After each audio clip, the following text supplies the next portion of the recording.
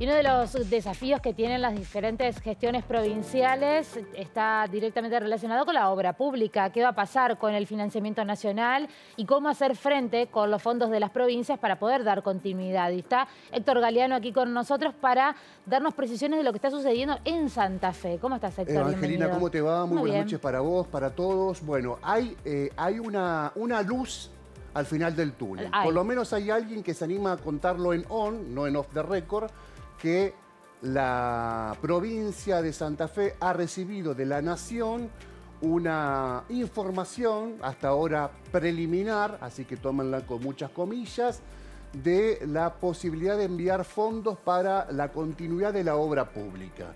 La fuente es la Cámara de la Construcción de Santa Fe, que ayer, esto es reciente, participó eh, de eh, una reunión de la Comisión de Seguimiento de la Obra Pública. Es la tercera que se lleva adelante este año y si te parece, vamos a ir apoyándonos con algunos datos en pantalla y vamos a ir contando eh, qué surgió de esa reunión realizada ayer por la tarde en donde se charlaron estos temas. Obviamente esa, en, esa, en esa mesa tributan eh, las autoridades del Poder Ejecutivo, el ministro de Economía, el ministro de Obras Públicas, las constructoras, el secretario de Hábitat, entre otros. ¿Qué, surgió de esa reunión de ayer? Bueno, como decíamos, se reunió por tercera vez la Comisión de Seguimiento de la Obra Pública. Cuando asumió eh, Puyaro la gobernación, es decir, en diciembre 2023, estaban paradas, escucha este dato, el 90% de las obras públicas el 90%. Y te diría que estamos redondeando hacia abajo. ¿Con cuánto tiempo de, esta situación? ¿Estaban paradas de, muchos meses? Depende. Había, es, buena la pregunta. Algunas habían cortado en junio y otras fueron gradualmente entre junio y diciembre eh, paralizándose. Es decir, con la gestión anterior. Una ventana temporal ahí de 3, 4 meses, exactamente, con la gestión anterior. Muy bien. Bueno, este, ¿qué hizo la gestión de Puyaro? Empezó a cancelar eh, la deuda que había em, generado, que se habían, los convenios que se habían acordado entre la provincia y las, y las constructoras del gobierno de Perotti. Se saldó esa deuda y se empezó a reiniciar con otras obras eh, y a negociar este, em, con un grupo importante de empresas la continuidad de, otras. Por ejemplo, esto es un dato de último momento, se supo que el gobierno provincial ha girado un aporte no reintegrable importante al Parque Tecnológico Litoral Centro, que es un faro de la economía del conocimiento.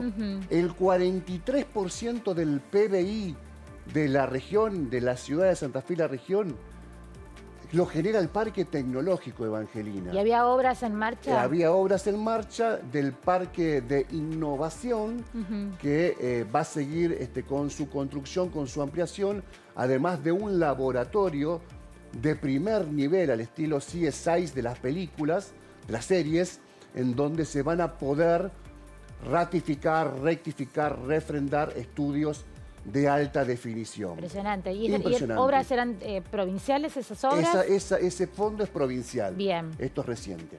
Em, decíamos, eh, a nivel nacional, obra pública con financiamiento provincial, lo habíamos dicho antes, estas son nacionales. Nacionales, ok. Tanto, lo aclaramos por las dudas. Están totalmente paralizadas hay diferente relación entre la, mm, eh, en este caso, la nación con la provincia, la nación con los municipios y a veces la nación directamente con, las empresas.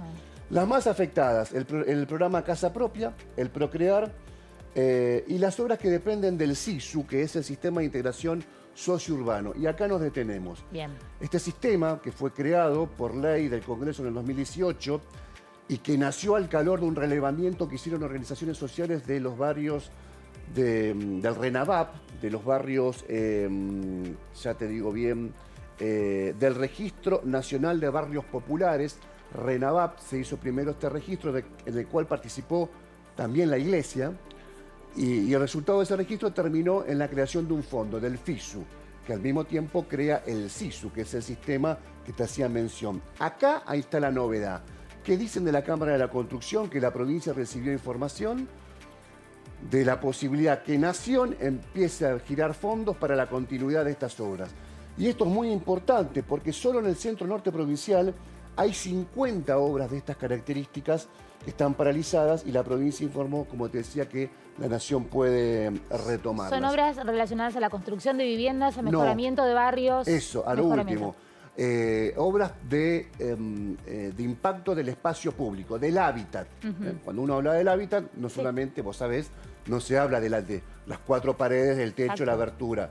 Se habla del cordón cuneta, se habla de la cloaca, se habla de la red de agua potable, se habla del gas, se habla de el ripio, la brosa o el asfalto. Bueno, todo esa, ese universo, ese ecosistema que forma el hábitat y el espacio público están contenidas en las obras del CISU. 50 en el centro norte y que registra la Cámara de la Construcción, porque no todas las eh, constructoras tributan a la Cámara de la Construcción en Santa Fe, son poquitas.